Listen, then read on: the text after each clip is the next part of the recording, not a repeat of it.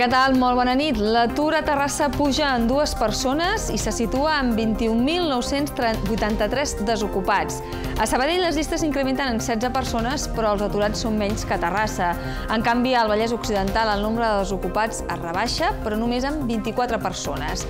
Dades que analitzarem en uns minuts. Abans repassem altres informacions al sumari.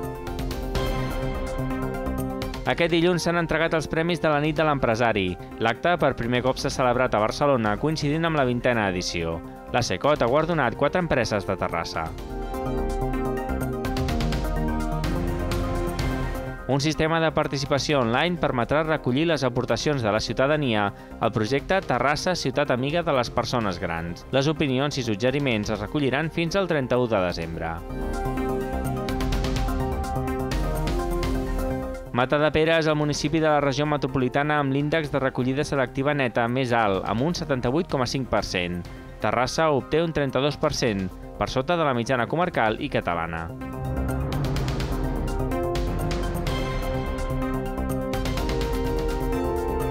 El Club Agada ja coneix el seu rival als setzents de final de l'Eurohockey League en el seu retorn a Europa. El conjunt de Patricio Quinan es veurà les cares amb el campió de la Lliga Francesa, el Saint-Germain, un clàssic d'aquesta competició. La cita serà l'1 d'abril al Blumendal d'Holanda. 16 medalles és el balanç dels representants terrassencs als Special Olympics. Prodis n'ha sumat 15 en diferents disciplines, bàsquet, futbol, atletisme i gimnàstica.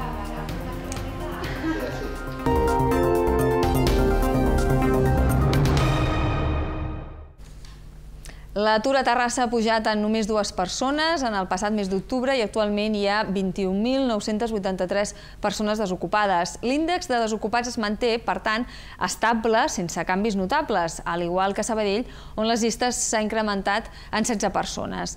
En canvi, a nivell comarcal, l'atur baixa.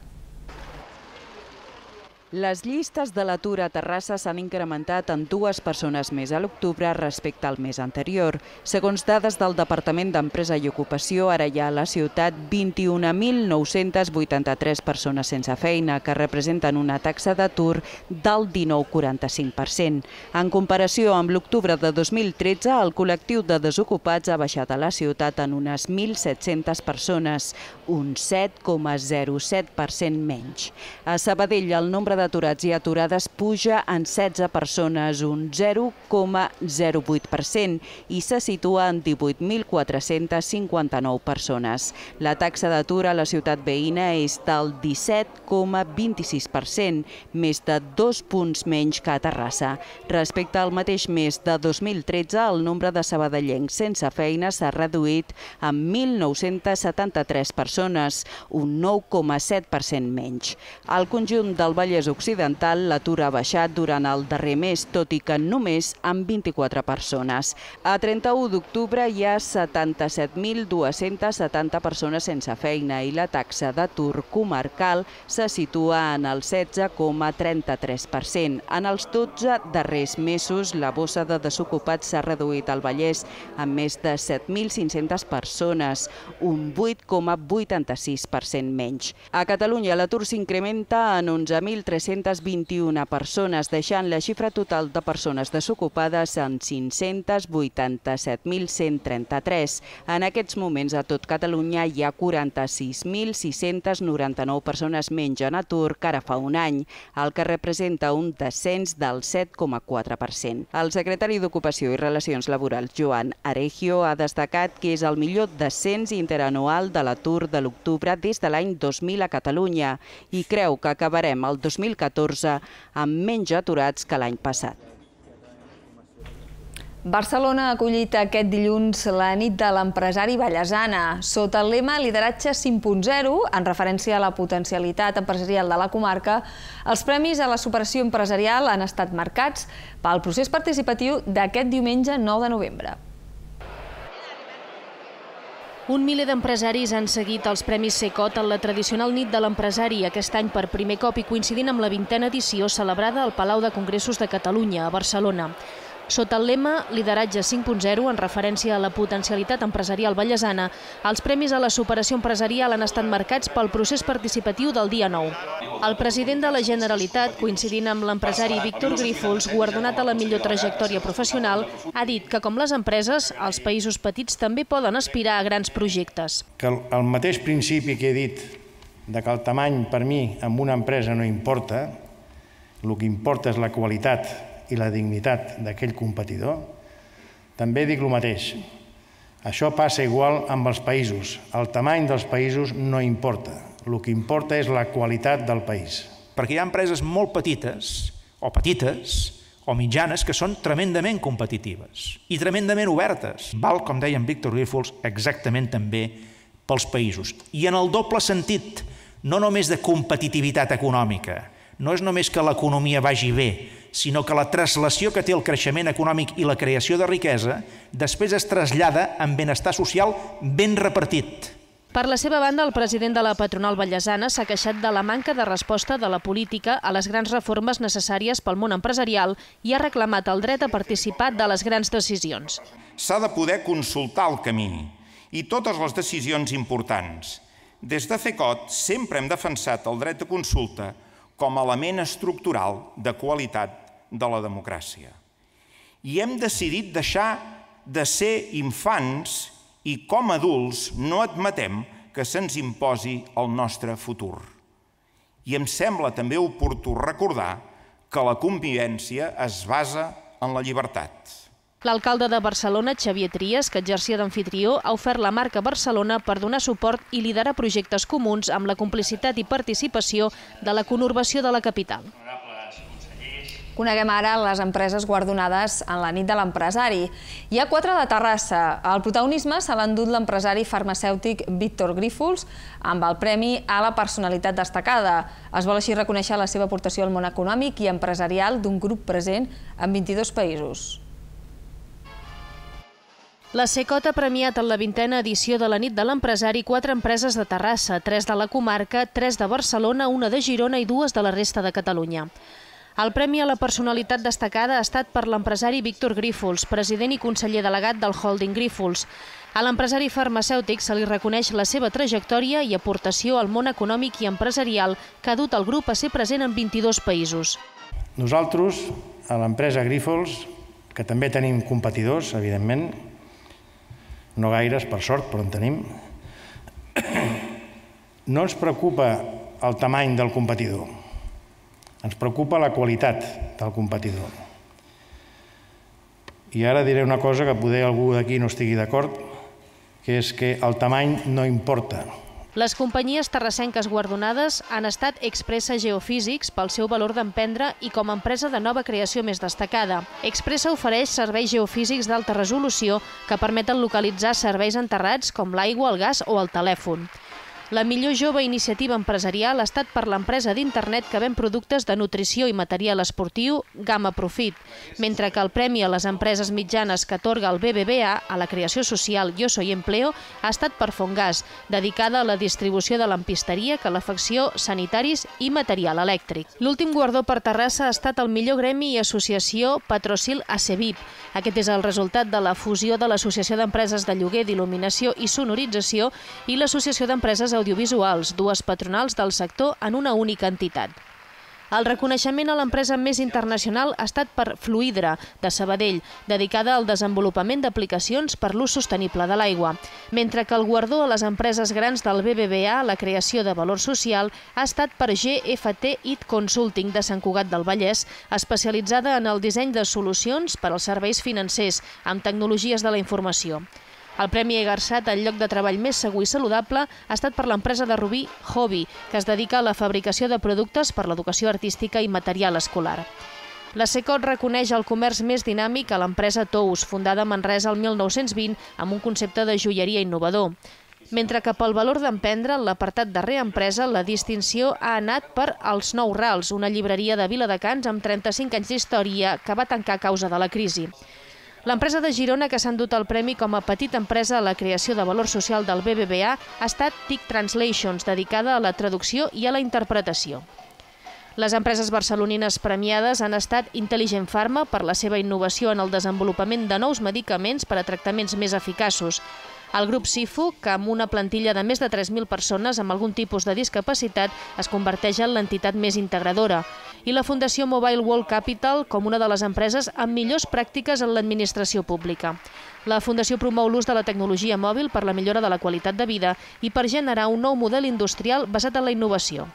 Els dos reconeixements a les empreses o activitats centenàries han estat per Vic Industrial, una empresa familiar fundada el 1914, experts en condicionament d'aire industrial i que fabrica i comercialitza calderes de vapor, aigua calenta i oli tèrmic, i pel Gremi de la Construcció del Vallès, que celebra el seu centenari.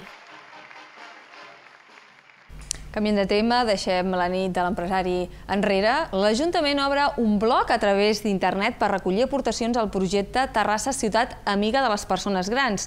Per participar només cal ser major de 16 anys i residir a Terrassa. Es pot fer fins a finals d'any. Un sistema de participació online permetrà recollir les aportacions de la ciutadania al projecte Terrassa Ciutat Amiga de les Persones Grans. Fins al 31 de desembre, tothom qui ho vulgui pot aportar el seu punt de vista sobre diferents aspectes relacionats amb aquest col·lectiu, des de la mobilitat i l'habitatge fins als serveis socials, les relacions i l'ajuda mútua, passant per la comunicació, la salut i l'accessibilitat. Només cal omplir un formulari al bloc del Servei de Promoció de la Gent Gran de l'Ajuntament de Terrassa.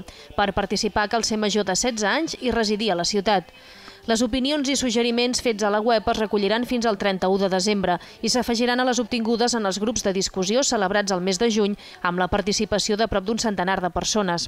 El projecte de Ciutats Amigues de les Persones Grans és una iniciativa promoguda per l'Organització Mundial de la Salut per impulsar polítiques d'envelliment actiu i millorar-ne la qualitat de vida. El consistori està desenvolupant actualment la fase de planificació d'aquest projecte de ciutat de 5 anys de durada. La prioritat és estimular i combinar iniciatives públiques, privades privades i comunitàries. A principis de l'any que ve remetrà un informe a l'OMS perquè validi el pas a la fase d'implementació, que serà de 3 anys. Després s'haurà de lliurar un nou informe perquè l'organització atorgui la certificació definitiva de Ciutat Amiga de la Gent Gran, que es revisarà de forma anual. Continuem parlant de temes relacionats amb el municipi, però parlem ara de Matadepera, el municipi de la regió metropolitana de Barcelona amb l'índex de recollida selectiva neta més alt. La recollida d'escombraries porta a porta ha ajudat a aconseguir aquestes xifres. A Terrassa, en canvi, aquest percentatge és força més baix. Matadepera és el municipi de la regió metropolitana de Barcelona amb l'índex de recollida selectiva neta més alt. Concretament, és d'un 78,5%. És seguit de Sant Pere de Vilamajor, Aigua Freda, Gualba i Tagamanent, tots ells del Vallès Oriental. La recollida selectiva neta és la que queda un cop s'han extret els residus impropis, és a dir, aquells que no corresponen a la fracció on s'han dipositat. Al Vallès Occidental, el rànquing de municipis que aconsegueixen més recollida selectiva neta, també hi apareixen Palau Solità i Plegamans, Ullastrell, Sant Llorenç Savall i Rellinars. Ja fa 9 anys que Matadepera va implantar el sistema de recollida d'escombraries porta a porta amb forts èxit, ja que està al capdavant de matèria de reciclatge no només de la comarca, sinó també del conjunt de comarques del voltant de Barcelona. Un 91% dels residus generats al municipi són selectius. A Terrassa aquest percentatge és força més baix, un 32%, inferior a la mitjana catalana, que és d'un 37%, i a la del conjunt del Vallès Occidental, que és d'un 35%. Dins la regió metropolitana de Barcelona, la nostra comarca destaca per ser la que menys residus per càpita genera, un quilogram per habitant i dia, i la que té un índex més alt de recollida selectiva neta d'envasos lleugers. A Terrassa, per incrementar la taxa l'índex de recollida selectiva, l'Ajuntament ha engegat la campanya Reciclar bé té recompensa. Ara el consistori fa balanç del seu primer mes en marxa. Es tracta d'una iniciativa que pretén fomentar la recollida selectiva i recordar que fer-la bé és una obligació. També s'ha fet balanç de la campanya Acaba't el plat a casa. 83.000 guies i programes d'activitats repartits a tots els habitatges del municipi, 1.800 establiments visitats per informadors ambientals, 232 visites diàries a la web www.reciclable.terrassa.cat i prop de 100 a les xarxes socials Facebook i Twitter. És el resultat del primer mes de funcionament de la campanya Reciclar bé té recompensa, que l'Ajuntament va presentar a mitjans del mes de setembre per fomentar la recollida selectiva i recordar que fer-la bé és una obligació. La iniciativa, que té un pressupost de 60.000 euros, inclou fins al mes de febrer una vintena d'activitats a casals i centres cívics de la ciutat, sobretot tallers, però també visites i jornades. Al novembre, les més destacades són els tallers de reaprofitament i reutilització dels residus, així com un concurs de fotografia i la celebració de l'Ecofòrum 2014 sobre malbaratament alimentari. I precisament relacionat amb aquest aspecte, també a l'octubre es va posar en marxa la campanya Acaba't el plat a casa. En dues setmanes s'ha passat dels 86 restaurants adherits a 110. El programa, promogut pel Consorci de Residus del Vallès Occidental, fa possible que els clients puguin emportar-se a casa aquells aliments sobrants del seu àpat. S'han repartit més de 10.000 carmanyoles i bosses de material compostable per facilitar aquesta acció i possibilitar que posteriorment es pugui llançar el contenidor de l'orgànica. L'objectiu és reduir el menjar que es llença al sector de la restauració. Segons un estudi de la Universitat Autònoma de Barcelona, cada dia a Catalunya es llencen 719 tones de menjar en bon estat, un 58% a les llars i la resta a supermercats, botigues i restaurants. El Museu Nacional i de la Tècnica de Catalunya ha estat guardonat amb el Premi Iberoamericano de Educació i Museus. El seu projecte d'eines tecnològiques educatives s'ha classificat en quarta posició dels 13 projectes finalistes premiats. El projecte del NatTec és una iniciativa adreçada als joves com a complement de la seva educació formal. El Museu de la Ciència i de la Tècnica de Catalunya ha estat guardonat amb el Quinto Premio Iberoamericano de Educació i Museus pel seu projecte Eines tecnològiques als museus científics, educació dins i fora de l'aula. Aquest premi el concedeix el programa Ibermuseos, una iniciativa de cooperació dels països iberoamericans per al foment de polítiques públiques en l'àmbit dels museus. El guardó premia projectes museístics de caràcter educatiu que afavoreixin el desenvolupament personal i la cohesió social. S'han presentat als premis més de 130 projectes de 14 països iberoamericans. El projecte del NACTEC ha quedat en quart lloc dins dels 13 projectes finalistes premiats, sent el primer dels dos finalistes espanyols. La dotació del guardó és de 5.000 dòlars. El programa Eines tecnològiques als museus científics, educació dins i fora de l'aula és un projecte lúdic instructiu adreçat als joves com a complement de la seva educació formal i a les famílies per contribuir a l'educació no formal en el lleure des dels museus científics. El projecte es concreta en quatre accions que combinen el territori presencial amb les tecnologies digitals a través d'internet i d'aplicacions amb mòbils intel·ligents. Són Terrassa Augmentada, el concurs audiovisual Egarrec, el fotocroma i l'app del museu i les visites autoguiades. Us parlem ara del concurs Joc de Paraules que organitza des del barri que s'organitza des del barri de Canaurell. Es pot participar en qualsevol dels 23 comerços de la zona i que estan adherits al Centre de Normalització Lingüística. Es pretén dinamitzar el comerç i alhora difondre la cultura popular. Com es diu la persona que corona un castell? Les sardanes es ballen enrotllant en línia o individualment. Com es diu la peça de roba on col·loquen els picarols als bastoners? Des de quan es celebra el Cap Gros de l'any? Aquestes són només algunes de les preguntes sobre cultura popular del concurs Joc de Paraules que organitza l'associació Canaurell Comerç i Serveis. S'hi pot participar en qualsevol dels 23 establiments del barri que estan adherits al Centre de Normalització Lingüística.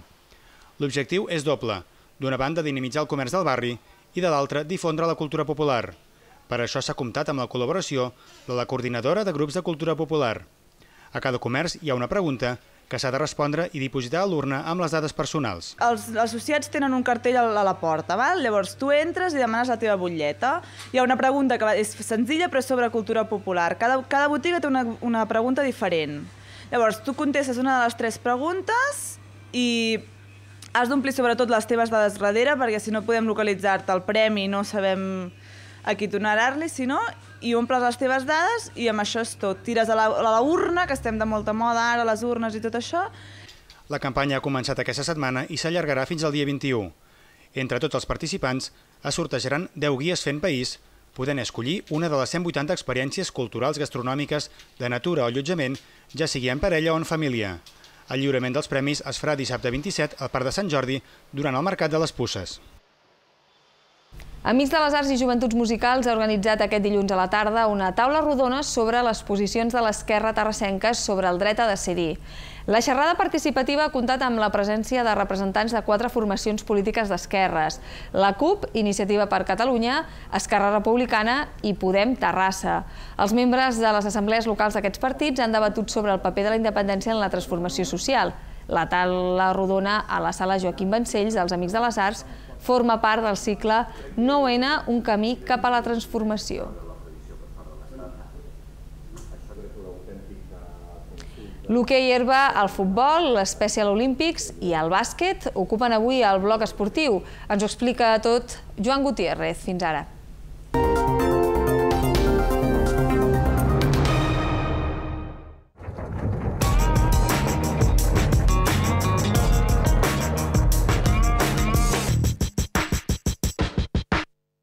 Rentem tot tipus de roba. Vestits, camises, vestits de núvia, de bateig... Tapetes, jocs de taula, jocs de llit, edredons de plomes, cobrellits, vànoves, cortines, catifes...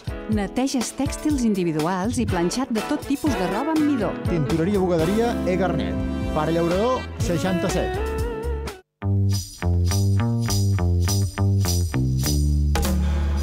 Maxon és modernitat.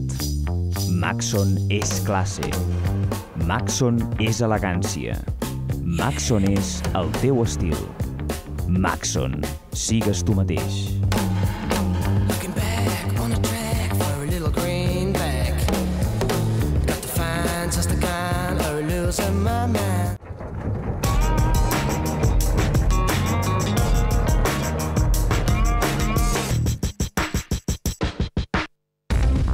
Aposta per la Lliga de les Estrelles. Esportium, la teva millor aposta. Esportium patrocina els esports.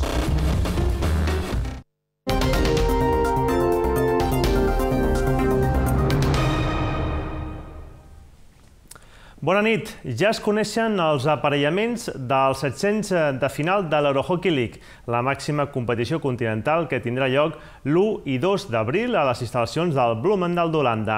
El Club Egara, l'únic representant terrassenc, el que ha d'eliminar l'Atlètic a primera ronda, es veurà les cares amb el Saint-Germain francès. El rival dels ratllats és l'actual campió de la Lliga francesa i un dels clàssics a l'Eakela, competició en la que ha participat en sis de les vuit edicions disputades fins ara. La Gada ja es va enfrontar amb el Sant Germain en els quarts de final de la primera edició, celebrada al Pla del Bonaire, i aleshores ja va guanyar per 4-0. En cas de victòria, els de Patricio Keenan s'enfrontarien en vuitens de final amb el guanyador de l'eliminatòria entre el Lorenz Suars, holandès, i l'Arminen, austríac, aquest últim butxí de l'Atlètic.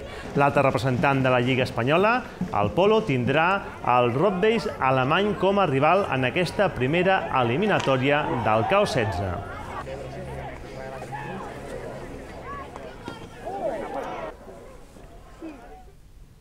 No deixem l'hoquei herba. El seleccionador espanyol masculí Fred Sollez ha fet pública la llista de convocats per la segona concentració que durà a terme el seu equip la setmana vinent. Després d'enfrontar-se la setmana passada contra Argentina, en aquest segon estatge a Terrassa, Espanya jugarà dos nous amistosos, aquest cop davant Anglaterra, quart classificat en el passat campionat del món. De la llista de 20 jugadors que han estat cridats, la meitat són terrassencs. Les novetats respecte a l'última convocatòria són els germans Ramon i Pepe Romeo del Club Egara i Albert Beltran de l'Atlètic. L'equip espanyol es concentrarà a partir del dilluns 10 de novembre. El dia següent, a les instal·lacions de l'Atlètic, jugarà el primer amistós a partir de dos quarts de cinc de la tarda. El segon partit serà el dijous 13 a les 11 del matí al Polo de Barcelona. Aquests dos nous enfrontaments formen part de la preparació del combinat de Sollez pel preolímpic que se celebrarà a l'estiu a l'Argentina.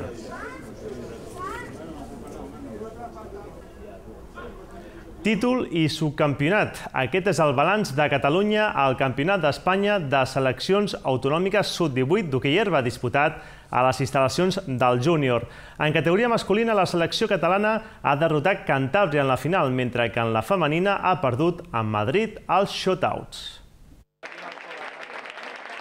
El júnior ha acollit el Campionat d'Espanya Estatal de Seleccions Autonòmiques Sub-18 des de dijous fins aquest diumenge amb la victòria de Catalunya a la final masculina i Madrid a la femenina. El santcuatenc Marc Perellón, capità del combinat català i jugador del júnior, ha estat l'encarregat d'aixecar la Copa de Campions en una final en què l'equip d'Oriol Torres s'ha imposat 5 gols a 2 a Cantàbria. El conjunt català ha dominat el maig i ha aconseguit un avantatge de fins a 4 gols, fruit de les dianes de Hans Baumgarten, Sam Cortés, Arnaud de Brulin i Pere Diborra. Els càntabres han donat una mica d'emoció a la final, que semblava sentenciada amb dos gols, però de nou els catalans han marcat mitjançant Nicolás Santiago, quan els càntabres jugaven sense porter en busca de l'empat. Havíem de, de sortir molt, fe, molt forts als, als dos primers quarts i ho hem aconseguit amb el 4-0 i ens hem, hem pecat de relaxació als últims dos quarts i se'ns ha complicat el partit, però bueno, hem sabut hem patir i endur-nos en la final. A la final femenina, en canvi, no s'ha vist cap gol i tot i que el partit entre Catalunya i Madrid s'ha jugat amb una gran intensitat i tots dos conjunts han tingut oportunitats de marcar, però no han estat encertats. La final s'ha decidit en el shot-out a favor de Madrid, que ha anotat 4 per 2 de les catalanes. Jo penso que hem anat de menys a més. Eh, crec que les jugadores han fet un bon partit. Eh, certament hem tingut moltes ocasions i, i havíem d'haver sentenciat abans. Crec que hem, hem dominat i hem sigut superiors en partit. Eh, Madrid ha aconseguit arribar als shootouts i allà doncs, bueno, eh, han estat més acertats que nosaltres i bueno, és una llàstima, hem fet un molt bon torneig, hem guanyat tots els partits, és a dir, no n'hem perdut cap. A la final ha assistit el president de la Federació Catalana d'Hoquei, Narcís Carrió, així com autoritats d'altres federacions de la resta de l'estat espanyol. El migcampista del Terrassa, Josep Casasallas, causarà baixa a les files agarenques. Segons ha comunicat el secretari tècnic del club, Sergio Montero, Casasallas continuarà entrenant amb l'equip mentre se li busca una sortida.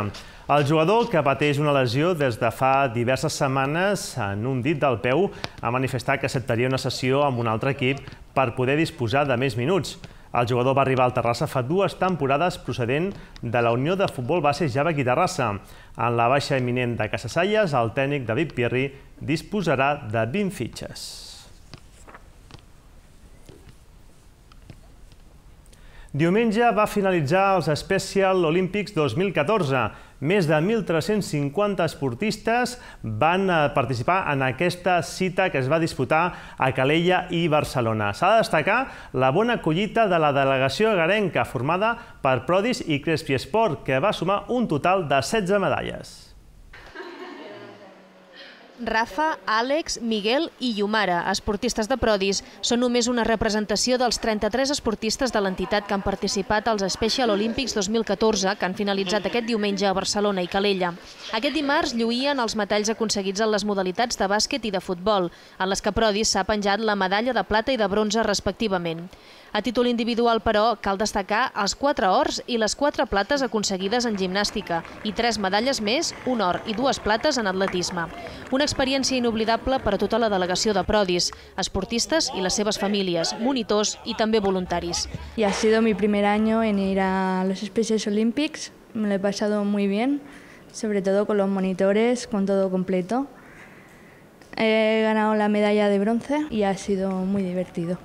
Han sigut, crec que, un dels millors specials, una experiència molt bona i molt satisfactòria per tots. Vull dir que la participació a nivell de medalles hem tingut un, molts bons resultats, però bueno, al final el que compta no són tant els resultats, sinó que s'ho hagin passat bé, que hagin gaudit, que hagin après alguna i que tinguin una experiència molt positiva amb això, tant ells com nosaltres, perquè al final és, és recíproc el que ells fan i el que nosaltres fem i, i realment és una experiència doncs, molt satisfactòria per totes les parts. L'altra entitat agarenca representada als Special Olympics, Crespi Esport, ha sumat la setzena medalla per la ciutat. Ha estat per Marc Puig, bronze en tennis en la modalitat de destreses. Crespi Esport ha participat amb quatre esportistes. Més de 1.350 esportistes de Catalunya, de la resta de l'Estat i també de l'estranger han pres part en la cita esportiva més important per a les persones amb discapacitat intel·lectual. Més causes, jornada negra pels tres representants agarencs de la primera catalana masculina de bàsquet.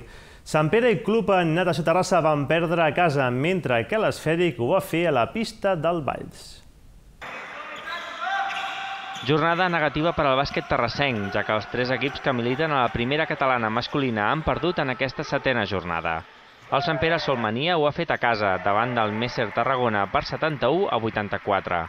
El conjunt que dirigeix Rubén Leiva ha anat de més a menys. El seu bon percentatge en el tir de camp l'ha permès manar durant els dos primers quarts, però a poc a poc els visitants han anat entrant en el partit i al descans s'han posat per davant 39 a 41. A la represa, el Tarragona ha sentenciat des de la línia de triples, encarrilant un parcial de 0 a 14 que ha estat definitiu. És la segona derrota consecutiva del Sant Pere, que no ha aprofitat cap dels dos partits jugats al Casal. Ara mateix ocupa la desena posició. El Club Natació Terrassa Bricomart, que venia de guanyar precisament contra el Sant Pere, ha perdut aquest diumenge amb el Badruna Gràcia per 62 a 70. L'equip de Jordi Sociats ha aguantat molt bé el ritme del partit imposat per un dels favorits a l'ascens i el descans només anava 6 punts per sota, 28 a 34. Ha estat en el segon temps quan els barcelonins han tibat de profunditat de banqueta davant d'un natació molt debilitat per les baixes per acabar guanyant el partit. Tot i la derrota, els terrassencs ocupen una tranquil·litzadora sisena posició. Pitjor li han anat les coses a l'esfèric, que ha rebut un sever correctiu a Valls. L'equip de José Luis Aranda, que per aquest desplaçament comptava amb moltes absències a la plantilla, ha caigut per un contundent 94 a 55. Els de la Sagrada Família s'han mostrat molt tous en defensa i els locals ho han aprofitat per aconseguir ràpidament clares diferències en el marcador. L'esfèric ocupa l'última posició, tot i que té un partit menys, el que ha de disputar amb els Reus Ploms. I en categoria femenina, la Jet va sumar la tercera derrota consecutiva en perdre la pista del Sant Fruitós. A la primera catalana sort diversa per Club en Natació Terrassa i el sènior B de la Jet. Cara i creu per al bàsquet femení agarenc. La Joventut Esportiva Terrassa ha sumat la tercera derrota consecutiva després de perdre a la pista del Sant Fruitós per 69 a 63. Un mal inici de les de Jordi Segura, que han encaixat 26 punts en el primer quart, ha estat clau en el desenvolupament del partit.